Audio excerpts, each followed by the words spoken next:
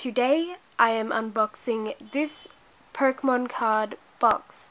It is Lucario GX themed, titled Lucario GX box, coming in at a whopping $37.99. Hopefully that is not too expensive for you all. As you can see in the background there is a giant Lucario GX card and its smaller version right here in the front having all kinds of card series contained in this very box.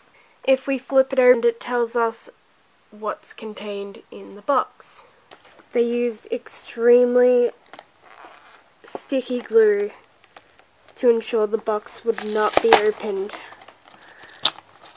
which has its benefits. If we take off the top piece of plastic, we're left with the Lucario GX card, which I'll remove by pressing downward.